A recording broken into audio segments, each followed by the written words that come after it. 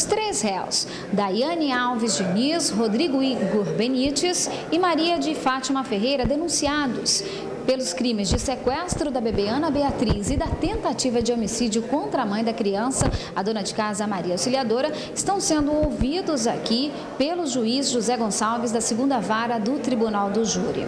O crime aconteceu em novembro do ano passado, quando a dona de casa Maria Auxiliadora levava a filha de apenas três meses para ser vacinada em um posto de saúde do bairro Mariana.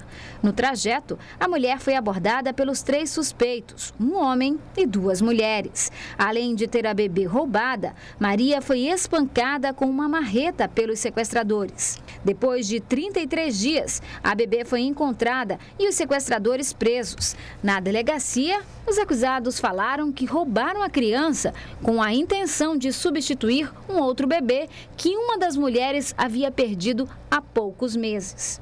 A denúncia feita pelo Ministério Público chegou ao Tribunal de Justiça. O processo corre em segredo de justiça no Tribunal do Júri. A partir dessas oitivas, o magistrado vai definir se os três réus vão ao júri popular ou não.